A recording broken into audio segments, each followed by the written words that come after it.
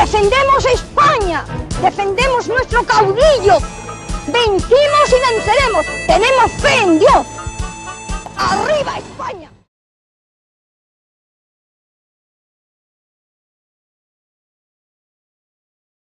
Pues sí, yo creo que sí. Estamos en una situación muy, muy delicada y bueno, pues hay mucha necesidad. Tal y como están las cosas, la gente ya tiene que salir a la calle. Es que es una vergüenza por la situación que estamos. Hombre, todo el mundo tiene derecho a manifestarse. Y la situación actual es decaente, pero hay que tener un control.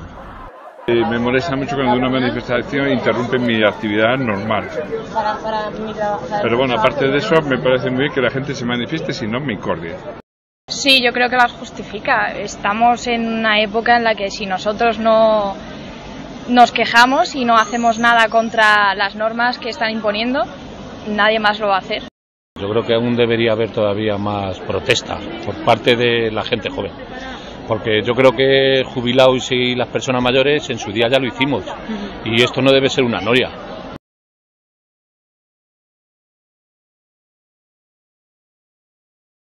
Nada en absoluto. Están poniendo unas leyes, la ley de seguridad ciudadana, la ley del aborto y ahora mismo no me acuerdo, pero que nada, que son un desastre. Han hecho leyes para autorizar la grabación de la gente paseando por las calles y por seguridad ciudadana y tal, pero yo creo que también el, el individuo debe de protegerse del Estado, ¿no? Están haciendo que cada vez seamos más ignorantes. Y cuanto más ignorantes somos, más fáciles de manipular. No, están poniendo trabas y están muy obsoletas y creo que tenían que modificar, rectificar y, y cambiar muchas cosas. Pues opino que es una putada para todos los manifestantes que, que salgan con esas.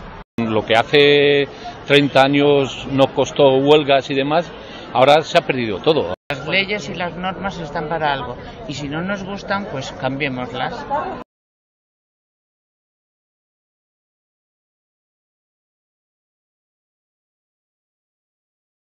Siempre por intereses políticos, porque cuando tienen que actuar realmente no se les ve. Yo creo que es por intereses políticos completamente, porque se han excedido muchas veces en su manera de, de hacer su trabajo y creo que la actuación que tienen ahora mismo está condicionada por, por los poderes políticos y no por su deber. Los agentes judiciales o las personas que deben cuidar el orden público pienso que lo hacen bien, pero sus superiores les obligan hacer actos que no creo que no son, no son los más adecuados. ¿no? Policía, Guardia Civil, o sea, las fuerzas del Estado, creo que se pasan bastante a la hora de, de cuando se manifiestan. Hay imágenes que, que verdaderamente dan miedo. Nosotros actuamos por indicación siempre, siempre, siempre política. Y esas indicaciones políticas dicen si tenemos que ser permisivos o no tenemos que serlo. Y en base a eso actuamos.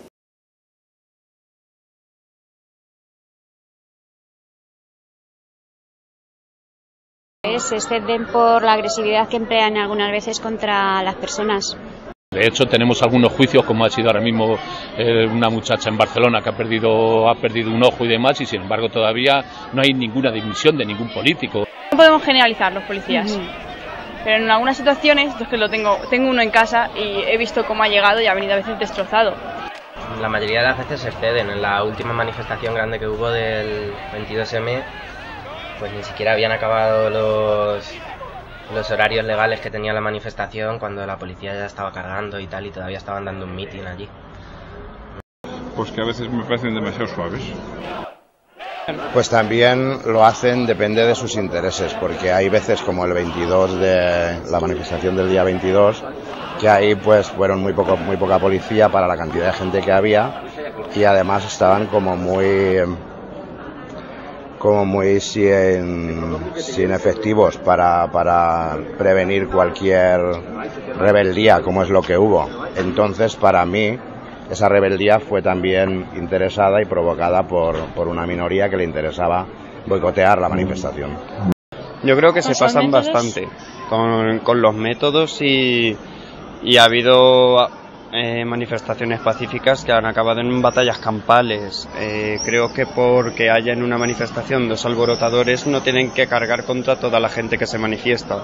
Yo creo que no son lo bastante adecuadas, que hace falta no sé, los, los cañones de agua, los cacharros, algo. Hay otros sitios para manifestarse, no tiene que ser justo delante de, de la sede del gobierno porque hay más sitios, pienso.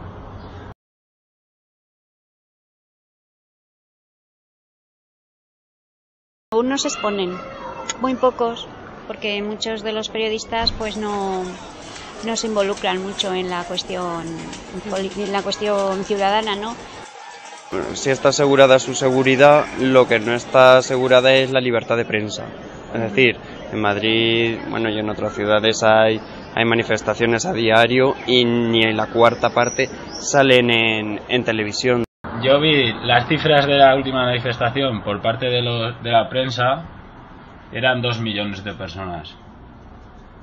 Las cifras que dio el gobierno son de 850.000.